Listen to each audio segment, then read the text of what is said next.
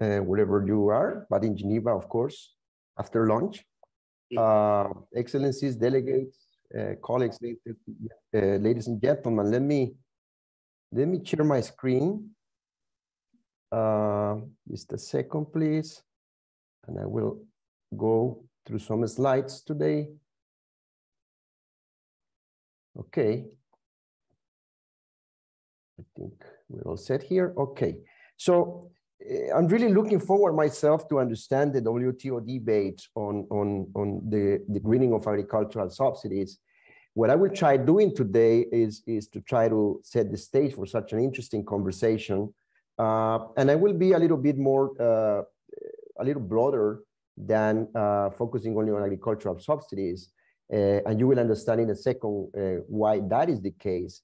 I will basically try to walk through to some slides that help us answer a key question that we have in front of us, which is how can agricultural public support contribute to food security, nutrition, and of course, climate outcomes. And we can even put it broader than that, nature-friendly outcomes. So what I'll try to do today is um, first tell you a little bit of uh, why FAO has been uh, involved in this work, uh, noting that already the topic is important for decades, but recently there has been momentum into the topic. And what I can tell you is that uh, back in two, two years ago, we started some work with UNDP and UNEP uh, on the issue of, of, of uh, agricultural public support. And we produced a report that was quite influential at the moment, uh, a multi-billion dollar opportunity, repurposing agricultural support to transform agri-food systems. And what we can see is that uh, ever since there have been a number of reports that have been produced uh, on this topic of agricultural support. Uh, this is about subsidies today, but subsidies is part of uh, what I call here agricultural support. Uh, and what these reports all show ever since we produced the multi-billion dollar opportunity report in 2021 uh, is that agricultural support provides vast transfers to farmers. That's, that's very important to understand. Uh, and I will show how vast they are. Uh, but also that uh, there have been some good outcomes from these transfers. Uh, particularly, you know, some of these transfers have been able to boost agricultural output. They have boosted global food production, of course, uh, particularly of staple crops. And these, of course, have been very helpful to reduce hunger and poverty in the world. And we have to note that. It's very important that we note that. However, uh, there are also concerns about how uh, this support is impacting sustainability, uh, how it is impacted people, the health of people.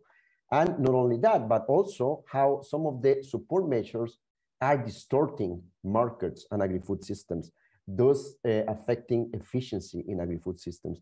So all that concern has actually uh, resulted in the production of these reports.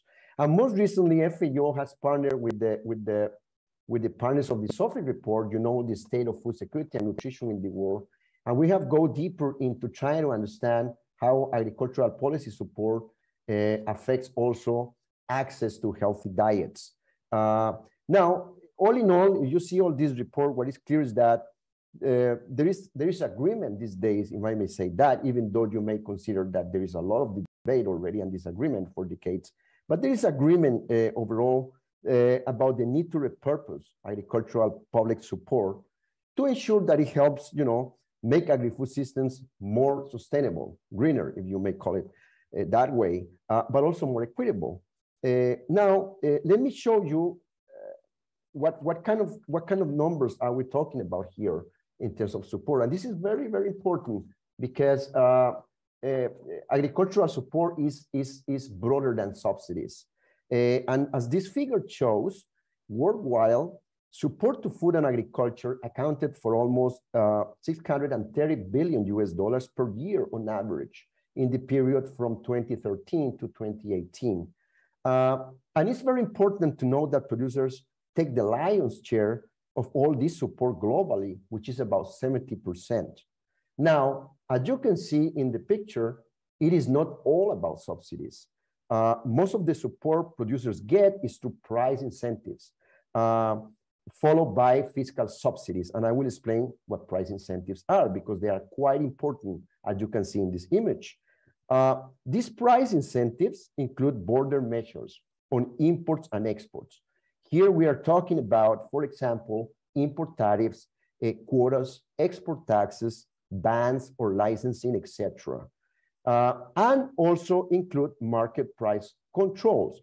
And here we are talking about administered prices at which governments procure food uh, from farmers, or also minimum producer price policies. So as you can see, fiscal subsidies are very important as well, but we have to be mindful of what we call price incentives because it is very important to talk about them. And probably a lot of people, what they regard as subsidies also is included in what we call price incentives. But fiscal subsidies are separate from price incentives, so to speak. Overall, what we see is that the support largely concentrates on a few staples, and I will show that in a second. Now, it's very important to see that uh, there are also negative price incentives, which you can see on the left-hand side of the graph. Uh, and this is because uh, lower middle income countries in particular, uh, and low income countries as well, penalize farmers through policies that depress farm gate prices, of course, to protect poor consumers. Now, let me, let me show you a bit, a bit uh, some, some detail on, on, on how this support is, is, is going all over the world. And, and what we can see clearly in this table is that the, the, the policy support to food and agriculture by now, you know what I mean by public, uh, uh, public support to food and agriculture. Again, if I go back, it means all of these types of support, which go beyond subsidies and include price incentives. But also, as you can see in this graph, and I forgot to mention, it includes general service support, which is the support that benefits collectively both producers and consumers and all people, such as infrastructure, for example, or research and development. And also you have some subsidies that go directly to the consumer, but these are a minority compared to overall support. Now, if we go back to the overall support, we can see that it differs across country income groups. Uh, and this reflects also important between countries inequalities.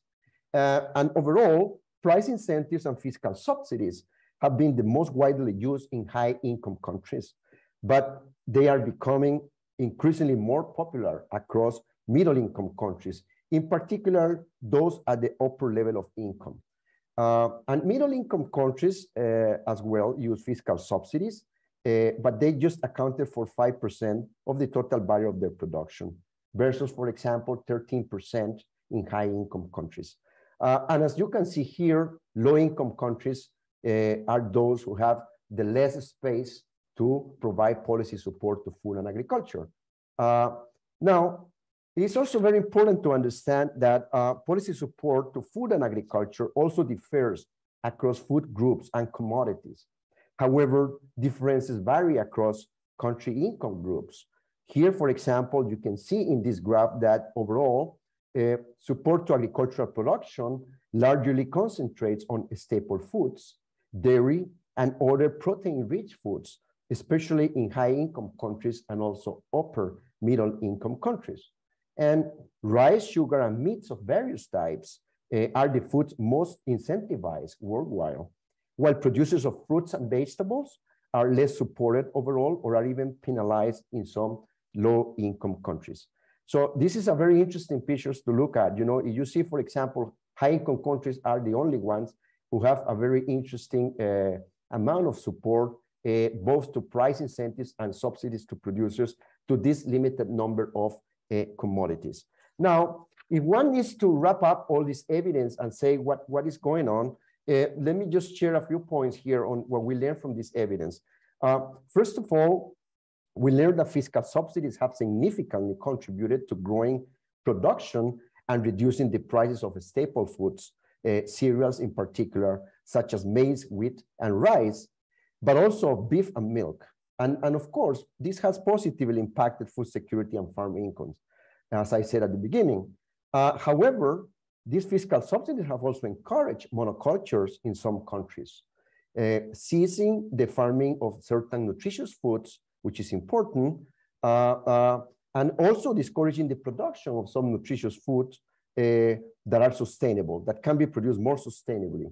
Uh, also border measures and this is very important because as you may remember, border measures are included within price incentives, which take the bulk of all the, the policy support that we see in the world. Uh, they affect the availability, diversity, and prices of food in domestic markets. And while some of these measures target important policy objectives, such as, for example, food safety, governments could do more to reduce trade barriers for nutritious foods, such as fruits and vegetables, in order to increase the availability and affordability of such foods, to reduce, of course, the cost of healthy diets, provided that they are produced and traded sustainably. Uh, last but not least, in low-income countries and middle-income countries, market price controls, which are also within the price incentives that I was talking about, uh, overwhelmingly, uh, uh they are targeting commodities like our wheat, maize, rice, as well as sugar, uh, with the objective of stabilizing or raising farm incomes, incomes while ensuring supplies of key staples, of course, for food security purposes. However, these policies are contributing to imbalanced diets all over the world, which are also not sustainable. Now, what would happen if all the countries in the world would get together and would say, listen, let's try to, you know, reallocate all this public support in ways that would help us reduce the gap between what people are consuming now and what people should be consuming Eh, eh, eh, in terms of healthy diets. So we have conducted a few scenarios with IFPRI that would simulate, for example, from now up to 2030, what would happen if all the countries, for example, reallocate fiscal subsidies from producers to consumers to bridge gaps in healthy consumption patterns, or alternatively, uh, we reallocate fiscal subsidies among producers. We wouldn't be moving here from producers to consumers, but we would be reallocating within producers uh, to bridge gaps in healthy consumption patterns. We want to eat healthy. So we want to use all these incentives to promote the production and the consumption of healthy diets. Or what would happen if we reallocate support to price incentives which is the border measures and the, and the market price controls to bridge gaps in healthy consumption patterns. Now, uh, we find that with the same money, countries could unambiguously improve the affordability of healthy diets. And this is what we have in this table. As you can see from the table, the green arrows represent positive gains, and all three scenarios of repurposing lead to large gains in improving the affordability of healthy diets, which is the last column in the table. They can also reduce undernourishment and poverty, which are desirable results of any reallocation of support. However, as you can see in this table, depending on the scenario, there could be trade-offs and negative uh, repercussions from these repurposing scenarios in terms of greenhouse gas emissions, agricultural production levels, and farm incomes. The bottom line is that the magnitude and direction of the trade-offs vary by region and even by country and will need to be analyzed very carefully.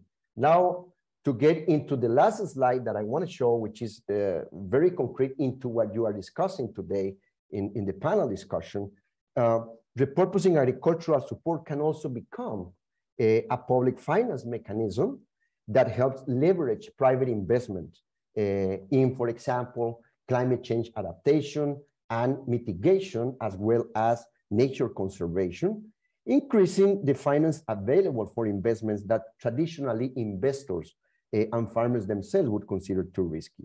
So I will give you, for example, of what I'm talking about here. Uh, public funds that are today uh, allocated to, you know, subsidized farmers, for example, or any other kind of support, could be repurposed to develop and disseminate more emission efficient technologies for crops and livestock. This could reduce the cost and the risks associated with such technologies, uh, helping to increase technology adoption, particularly by small farmers. And here the business case for private investment is clear. Not only will there be economic payoffs, but also a reduction in emissions from agriculture. Uh, land could be restored to national habitats. Uh, agricultural support and including subsidies could also be repurposed, reallocated uh, to reward the sustainable management of forests, farmlands, oceans, and biodiversity. For example, by reallocating resources to encourage landowners to plant or maintain trees on their land. Here, you know, using trees is important as collateral for loans and can be a strategy to de-risk smallholder projects. It can also promote carbon sequestration, thus resulting in more carbon credit capacity, which is potentially a funding source for private investment, of course. Now, this idea would be pretty much aligned with resource-oriented mechanisms, such as the UN REDD+, which I trust you all know very well. In this case, once countries demonstrate REDD+ results to the UNFCCC in terms of reduction in emissions from deforestation and forest degradation, they receive a reimbursement of funds to invest in, for example, uh, forest management and integrated livestock, such as we see in the case of Argentina, or community-based forestry. We, I promise you we did not cut his feed out of uh, aversion to um, repurposing subsidies. Excuse me? You are back. Yeah. So, so the third, the third option that, that, that, that we have is that agricultural subsidies and support in general could also be repurposed to provide tax discounts to agri-food enterprises that meet sustainability standards and promote youth and women engagement. Uh, for example, to the adoption of renewable energy or the rehabilitation and modernization of existing, existing irrigation infrastructure and so forth. Last but not least, another idea would be to repurpose agricultural subsidies and all the support uh, to allocate ecological fiscal transfers to subnational governments that demonstrate improved management and conservation of ecosystems. To conclude, it is very important to say just one point. Uh, the repurposing of trade measures and fiscal subsidies can indeed contribute to reduce the cost of healthy diet with more sustainability. Uh, but it will have to consider countries' commitments and flexibilities under the rules of the WTO, which I believe is the topic of discussion in the panel. Thank you very much. Thank you very much, Marco, for a really comprehensive overview of, I think, both uh, some of the options on what can be done as well as the state of play in subsidies. One of the things that I always really benefit from when we do things that sort of connect the Geneva bubble to organizations like the FAO in Rome is the stark difference in what in some of the elements of the conversation. In Geneva, we tend to talk about agriculture in terms of values of production, export volumes, whereas your presentation in many ways focused on what are the kinds of things people are eating. Are we providing people with a healthy diet? Are we incentivizing healthy diets? And I don't think that, while that has from time to time emerged, I think, in the Geneva conversation, it really is a useful way to connect um, connect these two things and bring some of those into our discussions. Um, so I'm tremendously grateful for that. And I think it really sets us up for the fireside chat uh, discussion now with with Doaa and and Alice, because Marco's, you know, Marco at one point said there's overall agreement on the need to green subsidies. Well, if there, there's overall agreement, I think it would be legitimate to ask for someone in the audience to ask, well, then what is the problem? Um, and I think in this case, it's, it's a good opportunity to turn to you, um, maybe begin with you, Doaa, as from the WTO Secretariat, to let's begin at the absolute highest level. Why is the WTO a part of this or relevant to this conversation at all? What is the what is the role of the organization? What does it do when it comes to subsidies? Thank you very much uh, for this, and I apologize for my voice. Uh, I've had a long bout of COVID, and I'm not completely back. so, uh, anyway, uh, Marco, that was a great presentation. Thank you very much, and, and thank you for having me here. Uh, I wanted to start uh, this discussion with a bit of myth busting, if you will. Um, the first myth in this discussion, in my opinion, has to do with um, with something that one hears repeatedly around Geneva and around the WTO, that the WTO has not addressed sustainability and that agricultural sustainability is somehow a new issue for the WTO. Now, that is a myth. Why? Because trade in agriculture, trade in any agricultural product, trade in a, in a tomato, in a cucumber, in anything else, is trade in land, in water, and in energy. So any kind of removal of a trait distortion, it would make um, uh, would make uh, would contribute to sustainability. So trade not only leads open trade, not only leads to an efficient allocation of, uh, of resources, it leads to an efficient allocation of natural resources too. It, it leads to an efficient allocation of that land, of that water, and of that energy. So the idea that the WTO has not been addressing sustainability, I think is fundamentally flawed um, any kind of trade liberalization, by definition, is contributing to food being produced where, where it ought to. Uh, I'm Egyptian, and the United Nations Development Program always likes to tell Egypt if you were to aim for self sufficiency in food, you would need three river Niles, not one. So that's myth number one that the WTO has not been addressing sustainability. It hasn't called it sustainability, but it has certainly been addressing it. Myth number two that what we need to do is to green subsidies. Yes, we do. But we need to be greening and we need to be removing all obstacles to trade. A tariff is a subsidy to a domestic producer, and any kind of trade distortion is an ungreening of agricultural trade. So we need to be addressing all trade distortions just as, as we have been doing, because anything that distorts that movement of land, water, and energy embodied in a food is something that is reducing um, the, an efficient allocation of natural resources. Number three, clearly there are some things that the WTO can do, but there are some things that the WTO cannot do. The, clearly there is a need for accompanying national policies. So uh, insofar as in an agricultural system, a country is not pricing water, then uh, we are no longer trading in the tr- based on the true cost of food. So national policies, effective national environmental policies that allow us to get to the true cost of food on the basis of which international trade then takes place are absolutely vital. And myth number four, and I guess, uh, you know, I mentioned that this fourth myth because we're uh, supposed to address a wider audience here, not just the trade uh, experts and uh, um, is the myth around the green box. Uh, because the WTO agreement on agriculture has a particular architecture of boxes, which I think Alice will be speaking to later, um, and one of those boxes is a green box. Uh, I think the wider public tends to think that that box is about green measures, environmentally uh, sort of uh, helpful measures.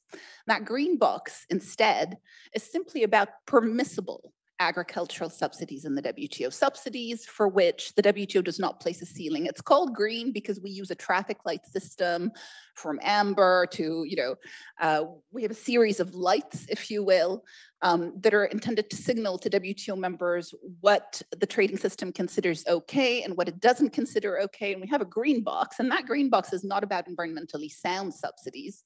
That, that was never its intent. It's also about rural development. It's also about income support to poor farmers. It's, it's, it's many things. Um, and so I think that creates a bit of confusion in the discussion. Um, I think when governments come to the WTO to discuss agriculture, they will never come to discuss it exclusively from an environmental lens. Trade policy in agriculture um, has to achieve many different objectives.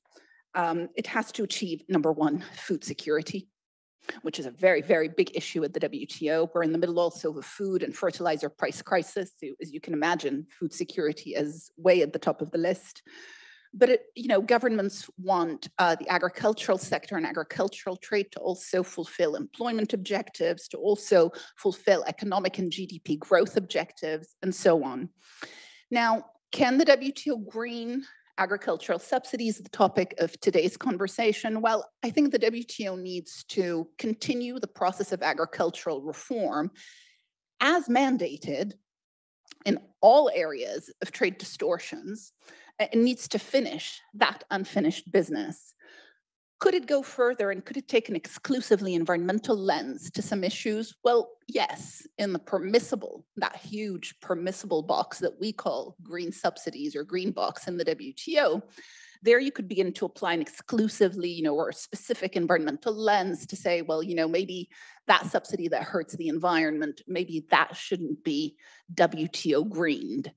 Um, so perhaps we could go down that route, but I think the point that I'm trying to make here is that the entire WTO agricultural reform agenda is about sustainability, and sustainability is absolutely not new to the WTO. Thank you. Thank you very much, Doaa. I think you you kind of dance around the shape of where the WTO rules lie on some of this stuff. And I wonder if I could bring in Alice here um, to maybe spell out in a little bit more in a little bit more detail, but hopefully without a, a, a seminar. Uh, we haven't asked you to produce slides. Um, where do members, where do the rules lie and where might they constrain members versus where might members have space? Well, thanks, Dimitri, and thanks to both the Geneva Trade Platform and the FAO for the invitation. Um, a bit like Doaa, I'm recovering not from COVID, but just from a cold. So if, if my cough overtakes me, um, I will cover my mouth to protect Dimitri and those in the audience.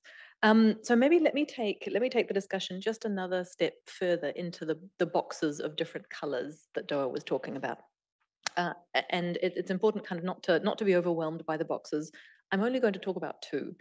Um, because Dimitri, you asked about the rules that constrain subsidy provision and the rules that allow them. So the main rule for the purposes of all WTO members that constrains their agricultural subsidies is what's called the amber box. So I talked about the traffic light system. Amber box subsidies are subsidies that governments must notify to the WTO, but those are the subsidies that are subject to quantitative limits, right? So these are the subsidies that members decide distort production and distort trade.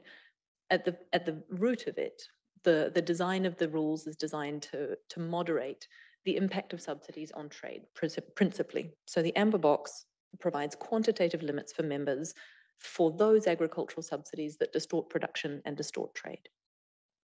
So for the, we're talking about the repurposing of subsidies. So just as a sort of mental experiment, let's say the government of a WTO member wants to repurpose some of its agricultural subsidies from one kind of subsidy that distorts trade, that it notifies in the amber box, and it wants to move that to another kind of subsidy that is less environmentally harmful, but still distorts trade. So both of these, where it's coming from and where it's going, are all within the amber box. In principle, nothing in the WTO rulebook prevents a government from doing that. But what's important is to make sure that you're within the limits that the amber box sets for you. So just to give you a sense, Dimitri was talking about the value of production, just to give everyone a sense of how much we're talking about. So every WTO member has what's called a de minimis limit within the amber box. So if you are a developed country, your de minimis limit of the subsidies that you can have in your amber box is 5% of the value of your agricultural production. If you're a developing country, you get 10% of the value of your agricultural production, and you can notify that amount, that value of subsidies within your amber box. So that's the first, and for most WTO members, the most constraining rule in the WTO's rulebook. But going perhaps to the bottom of Doaa's traffic light, there is the green box that she talked about. So this is sort of a box, a category of subsidies that WTO members can provide. And as Doaa quite rightly pointed out, they're primarily called green because they are green lighted in the trade sense. They're green lighted because they are considered not or minimally trade distorting. So what sorts of things do we see there? It's things like uh, infrastructure services, building roads or ports or water facilities, dams, some environmentally related infrastructure, for example. So again, taking the repurposing example, just to make it a bit more concrete, WTO members could increase the amount that they spend in green box non-trade distorting subsidies, right? They could change the nature of some of the, the subsidies that they provide within their green box to increase the environmental benefits of those subsidies. And in principle, because there are no quantitative limits to what you put in your green box, you could spend more or less as much as you wanted on those green box subsidies, as long, again, as long as you're not distorting production or trade in providing them. So I'll stop there. We can talk about how they combine in different ways, but I'll stop there for the moment. Thank you. I think that's a that's a good that's a really good overview of the structure of the rules. And I think if we were to continue that kind of hypothetical example, where, uh, as Alice described, you have a member that wants to, that has the option of moving some of its within limit amber box support into other forms of amber box support, which it's allowed to do under the rules. It can spend more under green box. So then kind of what is the what is the problem? Or rather, what are members are members discussing sustainability and subsidies in the WTO? And what if they have these existing flexibilities, are they discussing? Um, I might I might throw that throw that to you as you have to sit sit in the meetings and we don't. Um, yeah, that's a very good question. Um, so why aren't governments doing what we're discussing, right? Why aren't governments moving in that direction? Well, I would say, first of all, that governments have been moving in that direction. We've gone a long way in liberalizing agricultural trade. So uh, again, I would encourage the audience to take a very broad view of sustainability and how the trading system contributes to sustainability. The more the more we have a, a, trading system that reallocates resources, including natural resources efficiently, the more we are contributing to sustainability and so uh, you know we've gone a long way with the since the Uruguay round. I mean we've um, we've uh, we've cut the trade distorting support significantly. We have uh, strict ceilings on the amber box. Um, uh, we we've gone so far that we're now even discussing whether the permissible box, uh, and I think in this context, in this conversation, we should refer to it as the permissible box rather than the green box to avoid confusion. And now there's there's discussion as to whether that permissible box needs to be revisited and whether um, whether everything that goes in there is is is good for trade or or good you know or good for other things. So we have come a long way. Um, and I think we we now need to go we need to go further. Uh, agriculture for the WTO in general is unfinished business. Um, you know, the average agricultural tariff is multiple times the average bound industrial goods tariff. Um, so agriculture is way behind for historical reasons. Agriculture is an emotional issue. It's an outdoor activity. Farmers are very vocal. Uh, it's about our food systems. It's about our cultural systems. It's about our nutritional systems, our religious beliefs. It's about so many different things that progress has been slow relative to industrial goods. So we need to finish the unfinished business.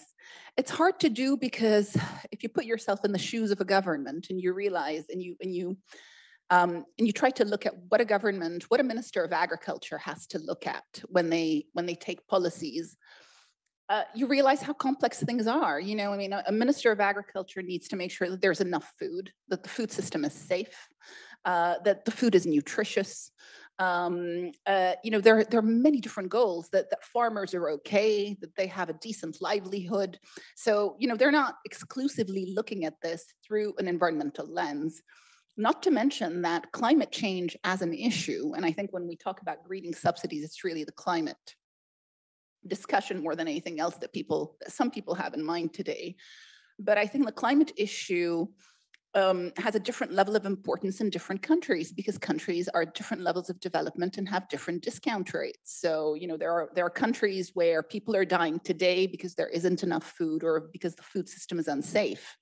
So you, you know, it's hard to ask them to prioritize the sustainability of their food system above the sort of food security and nutritional security and other issues that are far more pressing within that within their context and um, and so obviously that um, that slows down the reform process uh, uh, quite a bit, but some of it is legitimate.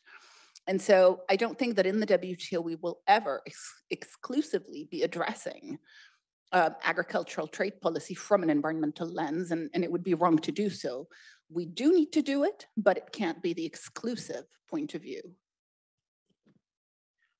Thank you, Doaa. Um, I wanted to drill into some of what I think you you you alluded to there, which is the debate.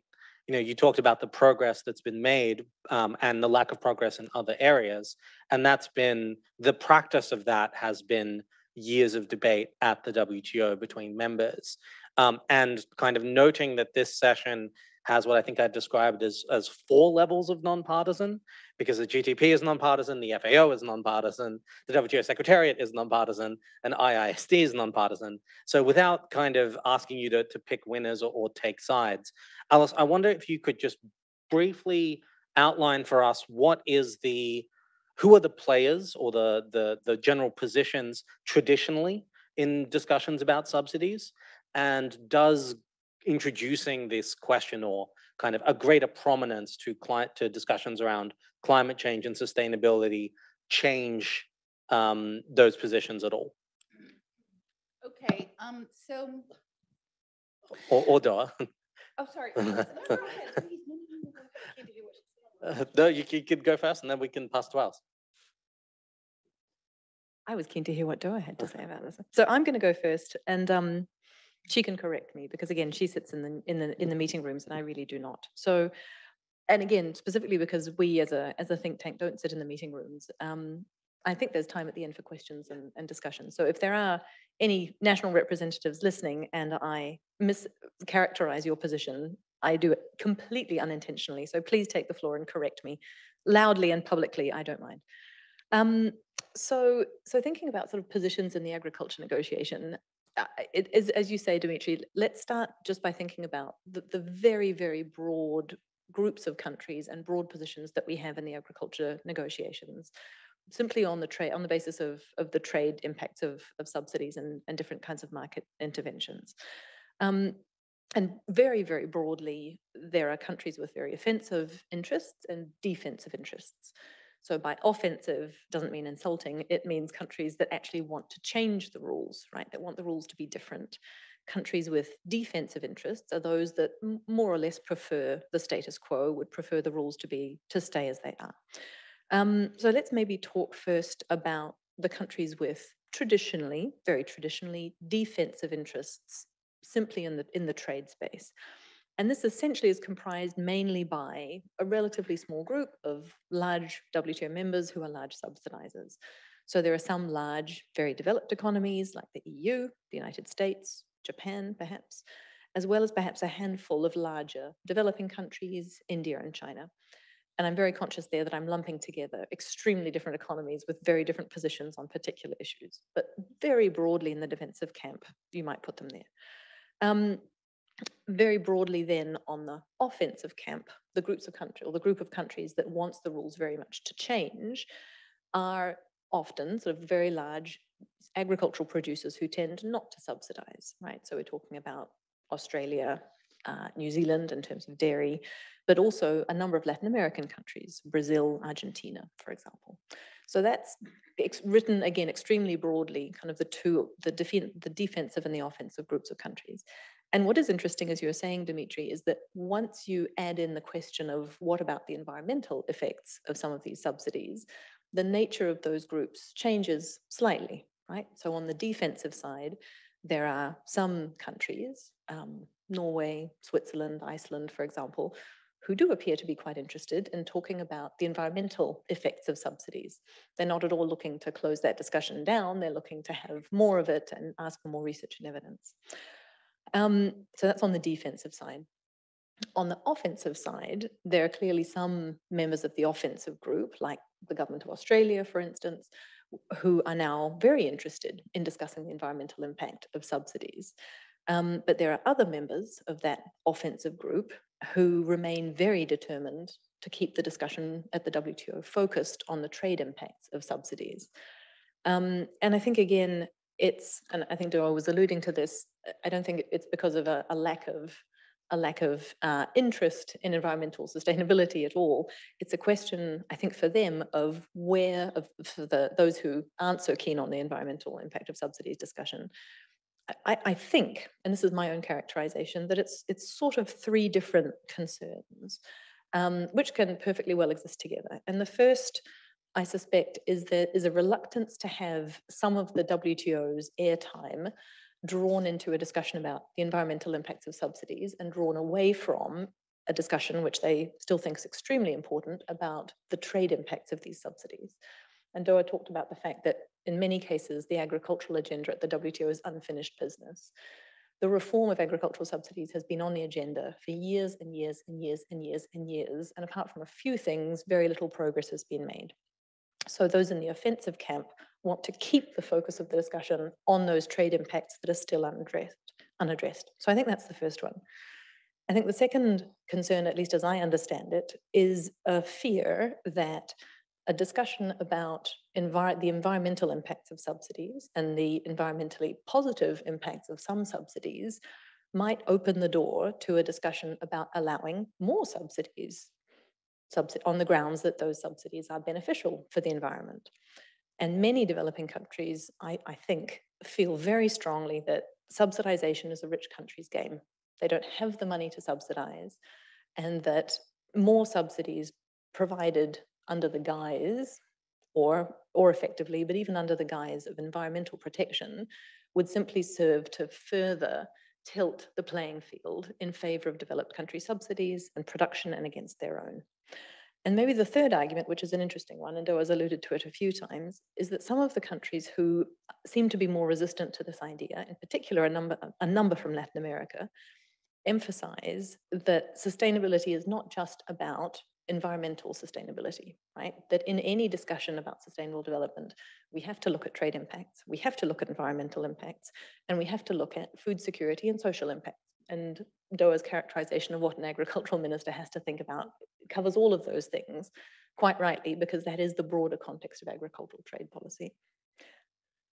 So I'm going to stop there. And I'm going to see what Doaa thinks mm. of that same question. You agree? Okay, that was easy. ticked off that box. I wanted to mm. I wanted to really dig into to some of these, but there's there's a fourth concern I have heard, and I wanted to put it to you just in case I didn't understand it correctly, which is that there is a concern among some members, especially developing country members, that a move towards greening subsidies will eventually risks could eventually lay the groundwork for protectionism based on production methods. So effectively, stage one would be a rich country insisting that providing money to make sure that every farm's groundwater is eh, of, of a certain standard. And then phase two would be saying we will no longer allow entrance into our market unless they can verify, unless they can demonstrate to us that their groundwater also meets this standard that our farmers now meet thanks to our subsidies. Is that something you've heard? Is this me hallucinating? Um, to, Doaa, you're, you're sort of nodding. Thank you. Um, Yes, absolutely. This is something that we hear, uh, but not just from WTO members, from the trade community. So um, on Thursday and Friday of last week, we held in the WTO um, uh, an event that was called Agri Food Business Day, where we invited all the CEOs of big um, uh, big, big agri-food um, industries like the Nestle's and Unilevers of this world, um, agriculture banks, shipping industry, etc. And it was very interesting uh, uh, to hear their very consistent warning against um, environmental measures in agriculture turning into non-tariff barriers to trade. I think they, they, they have a very big fear that, um, that we could be heading down that road. Um, I think that was a very clear theme uh, throughout those two days. It was also, I would say, a very clear theme from some of the world's poorest countries. We had the ambassador of Cameroon who was very vocal on this issue. And he said, look, attempts to fight deforestation in my country are leading to food insecurity. So, uh, you know, there needs to be a balance here between what you guys care about and what we have to care about at home. So yes, it's, it's a very consistent theme, uh, you know, how to balance environmental sustainability against other objectives that agricultural and food systems need to deliver. Um, and I, I, think we, you know, we have instruments and we have tools and we have checks and balances within the WTO rulebook, whether within the agreement on agriculture or outside it within the broader architecture that attempt to strike a balance between legitimate goals and goals that are not legitimate. Uh, legitimate public policy objectives and those that are uh, used as protectionism uh, rather than in pursuit of those other legitimate goals. Uh, and I think we we we so far we succeed in weeding out the legitimate from from the non. I would say, but we um, as we go forward in this discussion, I think we will continue to hear that concern. Yes. Thank you. you. You said a word there that reminded me I've been neglectful. You you mentioned the the architecture, and I know there is nothing more that people at home love more than discussions about WTO architecture. But I do think it's it's worth kind of getting into where some of these discussions are happening. Um, Alice, could you maybe just talk through? Um, there is there is obviously a committee on agriculture, but where else do you think these debates are taking place? Super, thank you very much. Um, do you mind if I add an extra answer to the previous question, which I think is that in addition to the to the sort of the political challenges of of even getting the discussion going in the WTO, and here is where, forgive me, I'm going to pull in the fisheries subsidies reference. Forgive um, us. Because I, I suspect that sort of if and when this discussion gets going, members will inevitably have to face some of the challenges that we faced in the fisheries subsidies negotiation of having to reach an agreement amongst themselves about what is a positive subsidy if you were to do that right? Um, and once you get into once you get into sort of defining a particular or reaching agreement on a single policy measure and agreeing that in every context this will be positive your argument almost immediately starts to starts to fall down because in every context things are different. So there's a there's lots of political reasons why the discussion is a an important one, but a challenging one to have. And I suspect if it gets going, there'll be technical, important technical questions to be answered, which can will also be challenging to reach agreement on, around 164 members.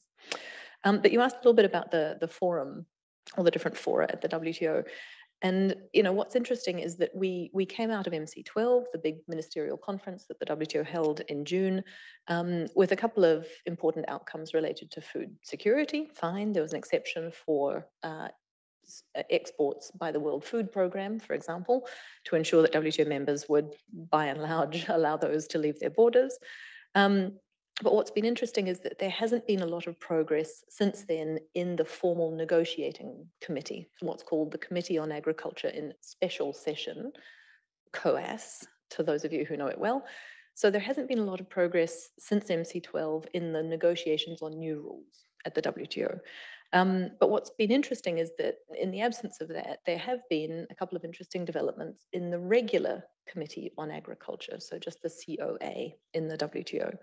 Um, and there, for example, they agreed just a few days ago quite an interesting decision which establishes a work program for more work on particular trade issues of interest to least developed countries and to a group of countries called the net food importing developing countries. So those developing countries that are most dependent on the trade system because they rely on imports of food to feed their population. So interestingly, we see sort of more a bit more verve and a bit more sort of interesting conversations happening in the regular agricultural committee, at least for now. Um, so those are those are two places where some interesting agricultural policy work is happening. But the other place within the WTO's architecture, or rather, at least within the WTO building, um, that agricultural subsidies are beginning to become uh, a topic of, of discussion is an initiative, it's not a formal committee, but an initiative called the Trade and Environment Structured Discussions or trade and environmental sustainability structured discussions.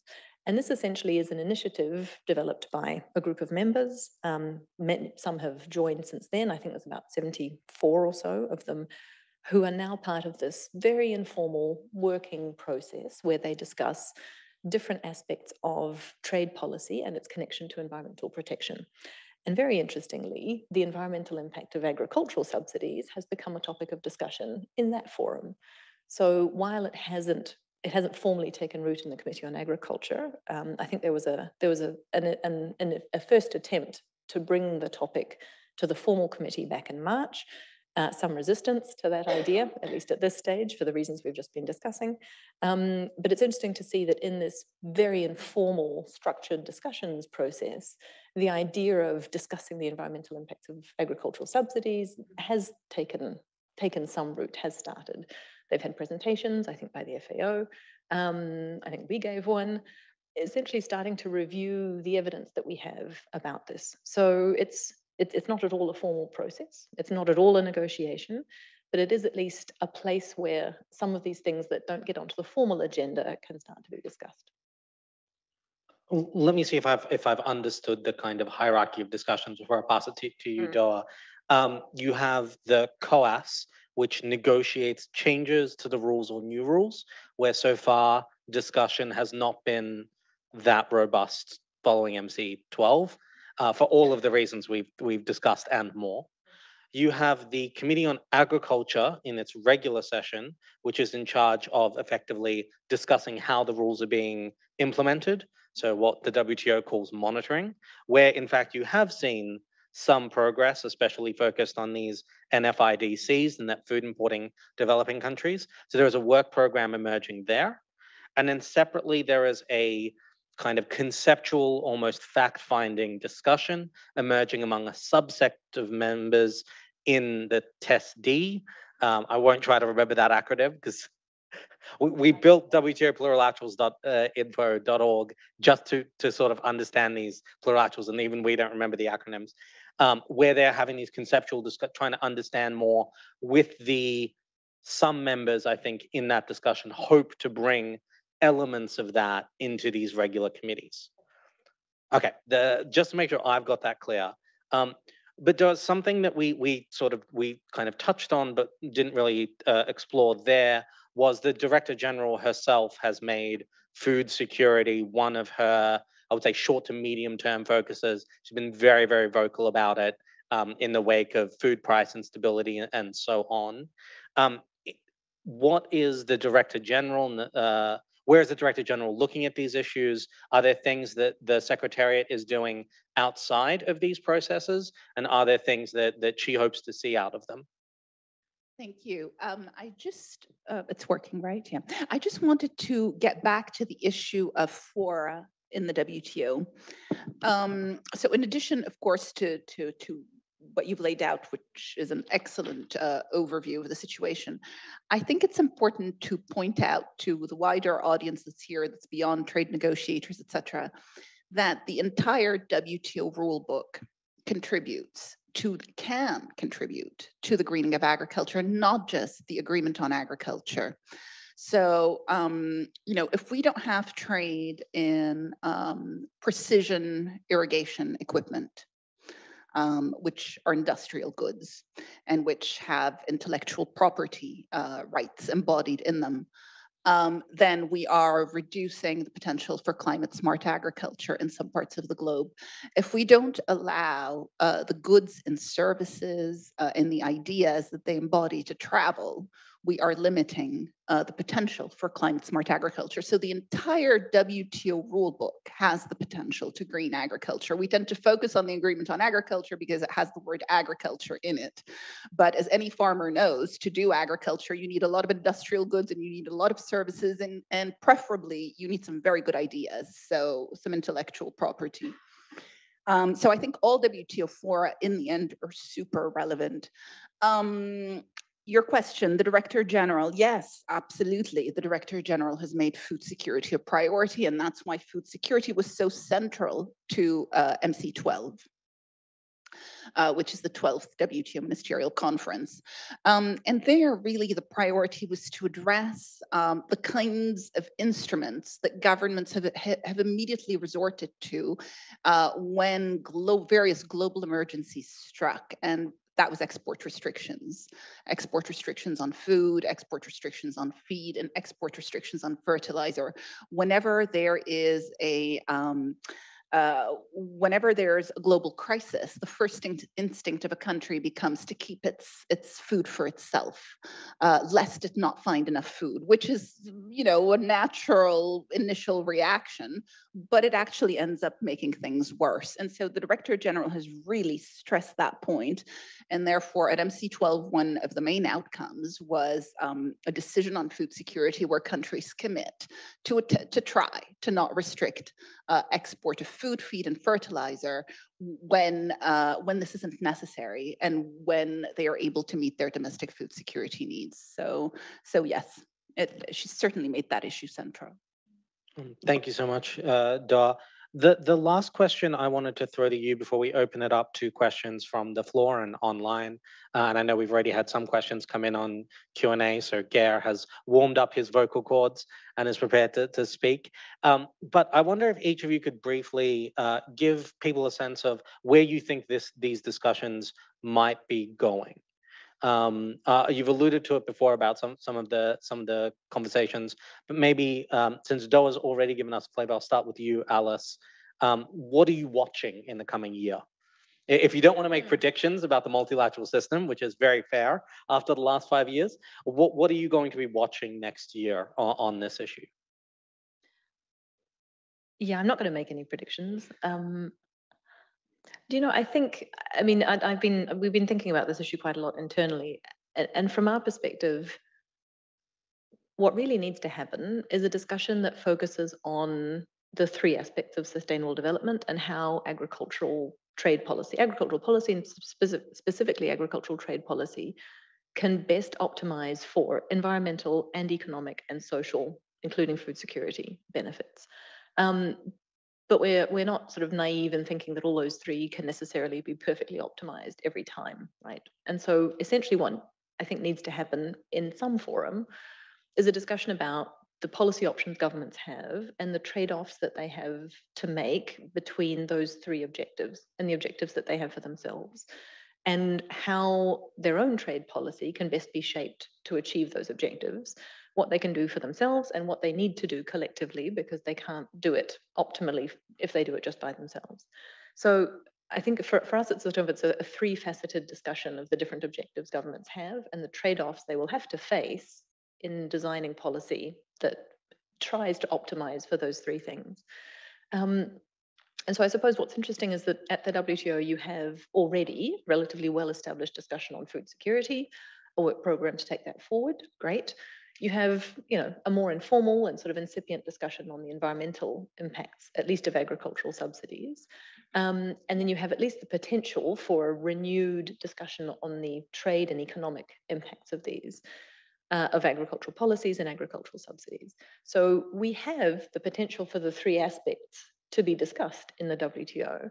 What we have at the moment is the three discussions potentially happening in different, three different places. Um, it's probably the political reality we have at the moment. Ideally, maybe it's at the WTO, maybe it's here, maybe it's somewhere else. You, we can have a discussion about how those three conversations need to be connected. Because whenever environment comes up quite naturally, two or three governments say, what about the economics? Whenever the food security comes up, quite naturally, two or three governments say, what about the environment? So eventually, the three discussions I would like to see linked somehow, somewhere.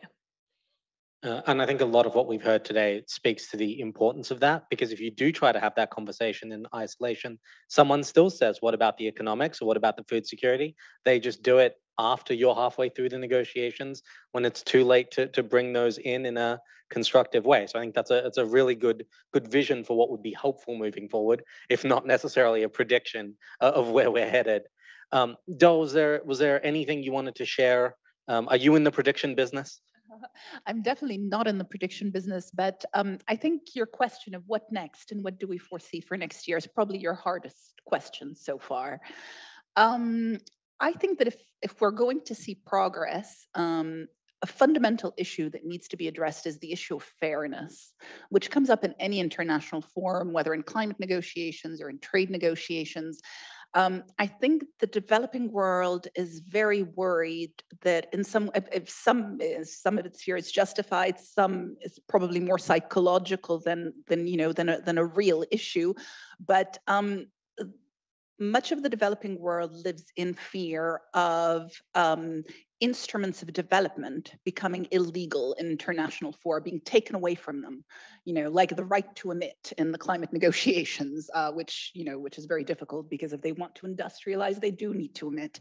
Um, or in the WTO, when you talk about subsidies, you know, they worry that their right to subsidize, which historically, you know, developed world subsidies have been very high, et cetera. And now we're asking the developing world, which never reached the levels of the developed, to cut its own subsidies. And, and so there's this, there's, you know, there's going to be a need to address uh, uh, the negotiations um, through the fairness lens so that we can make progress. And so the developing world does not feel that it's being prevented from achieving some of what has allowed developed countries to become what they are today. Uh, and I, I, think that's going to be uh, quite fundamental um, also in order to balance food security against other objectives. I think that's a really good place to, to end sort of our discussion before we throw it to questions. This idea that in these discussions, you will often see the concern that things that look laudable on paper will become weaponized or become restrictive. And anyone looking to understand these negotiations, these discussions, should remember that people are understandably, ministers are addressing it in part through that fairness lens, through that concern about hidden protectionism lens. And that's why so many of these things, you know, Marco began by saying everybody agrees there's a need to do this. But this is one of those reasons it is so immensely hard. Um, and with that, I might turn to questions from the floor, both physical and virtual. I might actually start with online because I can see Gera's rearing to go. Um, it, as a reminder, if you have questions for us, you can drop them into the Q&A box uh, and we'll put them to the panel. And if you're in the room, simply throw your hands up and someone will run to you with a microphone. Yeah, please. Thank you, Dimitri. So uh, as you've been discussing, there have been four questions that have come up online. And the first question is from Renata Cristaldo, and she's asking about um, uh, repurposing subsidies, and subsidies are always for those who can afford them, she states. Uh, how is it possible to level the playing field uh, with those who don't have the resources to subsidize to begin with? And then she moves on to elaborate on uh, standards and uh, how to have resources to meet standards that are coming up. Then we have a second uh, question, and I think this is for Doaa. Uh, could you please comment on the trade impacts on health and environment, environment which uh, currently are externalized in agricultural trade policies? How uh, do you envision to solve this? Just a simple little question. Um, then uh, back to uh, Dimitri, actually. Um, when you mentioned uh, groundwater rules, to what extent are sustainability-related agriculture non-tariff barrier non-tariff barriers um, being discussed in SPS and TBT? And then we have a little bit of a technical question, which is a long question. I'll try to truncate it a little bit as a last question, uh, that the green box that has been explained allows countries to provide environmental subsidies to, uh, according to certain conditions. Um, and uh, then he mentions um, that uh, anchoring level of subsidies on costs incurred or income foregone. Some argue this criterion is too strict. Uh, for example, one might want to pay farmers the value of carbon sequestered uh, rather than simply reimbursing the costs incurred. Do green box rules rule this out? Okay, uh, I might take the, the cowards option out and begin with, with those questions in order. Um, Marco, I wonder if I could put that, that first question to you. Um, uh, I think it, it, was part of your presentation, as well as some of the comments from the panel, that there's this perception that subsidies are a rich country's game, that in order to spend money on agriculture, you have to have the budget to do so. Um, has the FAO looked at the distribution of subsidies uh, around the world? No, as part of your presentation. And now I wonder if you just had any thoughts on what, if anything, could be done to address the inequalities arising from that, or just generally any thoughts uh, in that regard? Um, sure, definitely. We have we have looked into it. Actually, uh, I have shared the presentation that I that I presented today, and there was a slide that I skipped. Uh, by coincidence, that slide cover a little bit what what this question is is looking after. Uh, but let me let me before I, I could show that slide because it's interesting to show how much more countries can do with the little budget they have. But but before that, it's important to understand that you know, if big countries who are subsidizing a lot change the way they subsidize, that would have impacts on world prices. Uh, and the, the countries that do not have much to repurpose or to, to, to, to reshuffle are recipients of those changes. Uh, and, and I would say that the WTO is the organization that would understand pretty well those repercussions. So any discussion should have uh, that lens of understanding how the countries who have little to repurpose, and let me put it very clearly, low income countries and lower middle income countries would be affected by big price changes that take, take place elsewhere as the rich countries uh, do anything with subsidies. Now, if, if you don't mind, let me, let me also say that uh, eh, in the low income countries that FAO has studied, uh, obviously there is very little, very little subsidies to repurpose or to shift around or to to even think about how you green them up. Uh, but what we have done is uh, it's we have analyzed uh, and actually we are doing country work already. Let me just show you this very quickly. I wouldn't take a minute. Uh, uh, we have been working now on countries because in, in the FAO's perspective, There's already consensus that something has to be done about this. And we are now working with those countries who have very little to repurpose. And this is an example of what we are doing with Ethiopia. We have already engaged with the government of Ethiopia on this. And what you see here in this column is the current way of domestically subsidizing the sector of agriculture in Ethiopia. What you see here is called the base scenario. And here you have all the types of transfers that are done in, in, in, in Ethiopia. But we have been telling the government, what would, what would happen if you take that little budget that you are now transferring to the sector, to farmers in different ways, and you do it more optimally? And here is something that I would agree on very much with Doaa, to achieve broader objectives, right? It cannot only be about greening because that is not what will make people, you know, thrive in terms of the livelihoods, the way they eat, but also the environment they live in. And what we have shown is that, just look at this, this would be the gains in percentage and also in thousands that Ethiopia would experience if they reshuffle or they repurpose the budget more optimally, the very same money that they have. We're not talking here about more. We're talking here about doing trade domestically differently, transferring to the farmers differently. And only by doing that with the same money, you see that more than 2 million people could afford a healthy diet that they cannot afford today. And obviously, also you would be creating a lot of jobs. But the bottom line here is, in order for you to do that, the objective could not be just greening subsidies or greening expenditures. You have to have the objective of people in mind, you know? And in trying to, for example, keep people in mind, you would, for example, couple a subsidy to the production of a good that is healthy, but coupling this, this to a subsidy that is also green, so to speak, right? Uh, a subsidy that is climate smart or a technology that is climate smart. But what is key is what the other panelists have mentioned. These subsidies of this technology should be accessible to all. Otherwise, it wouldn't make sense to do anything about this. Over to you. Thank you so much. And it's interesting how much your first point resonated with Doaa's point about everything in the WTO rulebook being relevant to sustainability. In the same way, what anyone is doing on sustainable agriculture is relevant to, to everyone because of its impact on food availability, food prices, and so on. So that interconnection is really important, as is, I think, your, your second point about how much can be done by refocusing where subsidies lie in order to have them better achieve different objectives.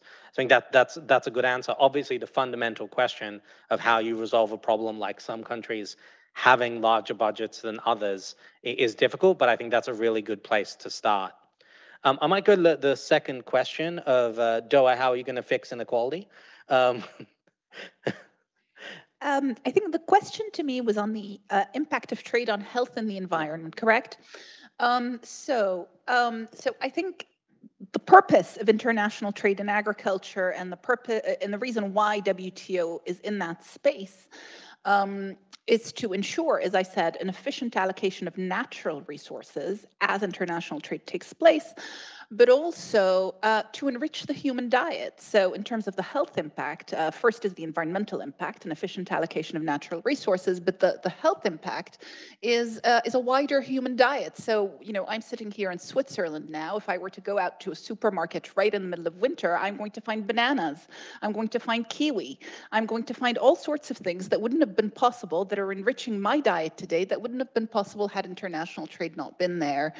Um, so I think that's fundamental. But what's important is for us to continue the trade reform process because some national policies run counter to that overall goal for which the WTO entered that space.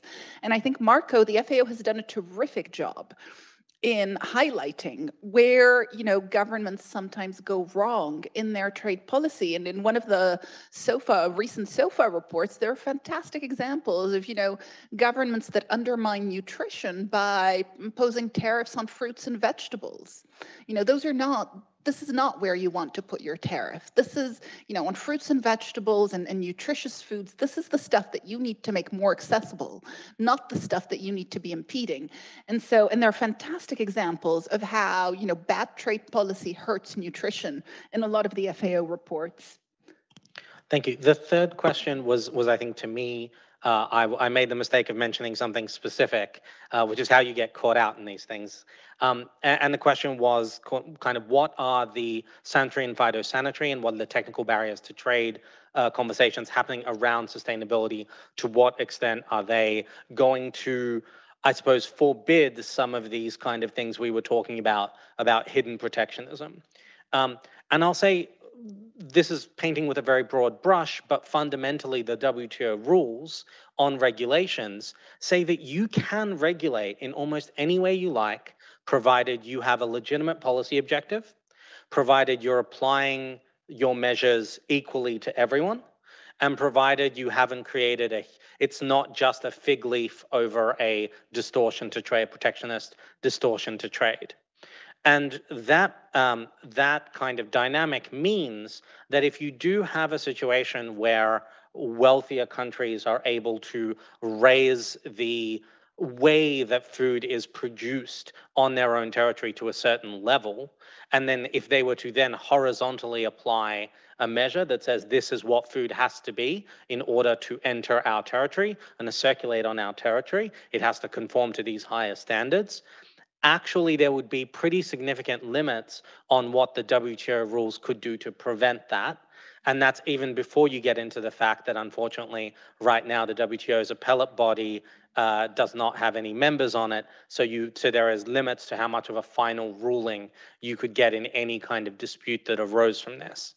So while there is certainly the the WTO rules can certainly prevent the most egregious uh, examples of this and people misusing um, really blatantly, you know, declaring that that only an Australian apple could possibly be green by virtue of being Australian. That's the sort of thing the WTO can be a bulwark against. It's not necessarily automatically addressing some of the concerns we've talked about today. I'm seeing nods from Dole, which is a very encouraging sign. Uh, uh, the the last question on on Greenbox, I might I might pass to you, um, Alice. It was kind of a, uh, I guess, as a very technical question uh, about what's currently in Greenbox. Is it too restrictive? Is it too permitting? Um, just any kind of general comments on that, and we might pass the actual question on to you and Doaa in writing afterwards um, to see if there's a if there's a more comprehensive uh, answer you might be able to provide.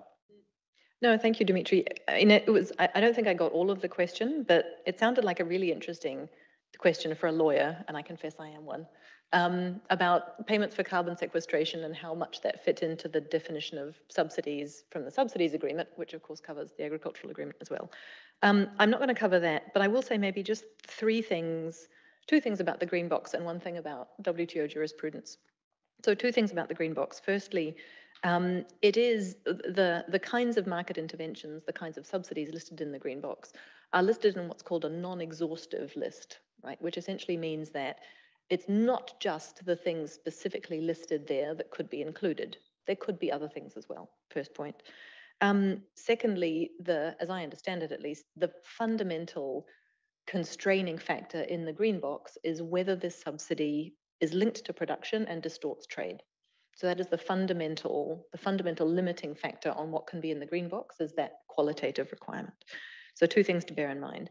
Um, and the very last thing, and this is a very personal comment about WTO jurisprudence, that's the decisions that panels make when one country sues another, um, is that I've seen a number of WTO panels and the WTO appellate body bend over backwards in their interpretation of WTO rules to ensure that governments have space to take measures to protect the environment. I mean, bending over backwards to the point that they've been hotly criticized by academics for doing so. So, at least the direction that I've seen WTO disputes taking is very much to provide as much space for governments as possible to achieve important policy goals like protecting the environment. I'll leave it at that, but it sounds like a really interesting question, so I'd be happy to respond in writing if I can. Thanks so much. Um, scanning the room, I don't see any hands waving, but we've got one more question from online and we might end it after that. So, Gare. Thank you. We have a last question here. Uh, it's Asha Khosravi who's, uh, who's asking, I was wondering about how we can move away from governments taking decisions on agricultural policies, which is harming the environmental health for the entire world. So I suppose to, to bring that question back to the back to kind of the WTO and, and the trade system, because I think it's a, it's a far broader political question of how you intend, how you kind of create positive change. Um, uh, Doaa, uh, you, you've talked quite a bit about what the WTO system has has contributed. Do you think that there are things that member that members and the system can be doing to just encourage better, more thoughtful policy making around these issues. I think you mentioned that the FAO in some of their reports ha have been very un-UN and said these are some policies that are having adverse effects, bad government. Um, what can the system do to encourage the kind of change that, that the asker wants to see in the world? Um, I think the first thing is to get away from the misconception that there are governments that are okay with hurting the environment. You know, no government is okay with hurting its environment. There is no government uh, that would have the option of improving its environment uh, through its agricultural trade policy that wouldn't do so. I think the problem is a problem of trade offs. Um, you know, so there are there are some difficult trade-offs that need to be done on the ground. Uh, you know, uh, there there are different objectives that need to be balanced, and I mentioned those before, from food security to to employment security. You know, there are countries in Africa uh, whose ninety percent of whose population is employed in agriculture. So you know, so there are so I think governments have to contend with different challenges, but no government wants to hurt its environment. It's a matter of how to get to that goal. Um, and I think we are we are getting there slowly in the WTO because overall the system is moving in the right direction, but it is a bit slow. You know, if there is one thing that I really hope we can do through the WTO reform process, and I, I hope that members may look at this, is to actually televise committee meetings, because I don't think people realize what a committee on agriculture meeting looks like, and it is one of the best examples of why the WTO has been created. You know, usually the agendas are, uh, I don't know, 15, 20 pages long with a, country putting a concern to another country, another country responding. And there you really see what governments have to deal with and what are the things that block trade and what are the responses given and what the value of the WTO is. Um, and I think, um, yeah, I'll end on that note. That'll be a really a really interesting idea, possibly for a reality show. Um, but uh, perhaps perhaps Netflix doesn't have too much to worry about. Um, well, th this looks like a fantastic place to to end this session. A huge thank you to all three of our panelists, Alice, Del, Marco. Thank you for a very stimulating discussion. Thank you to everyone who's borne with us uh, throughout all four of these sessions. Thank you to the FAO.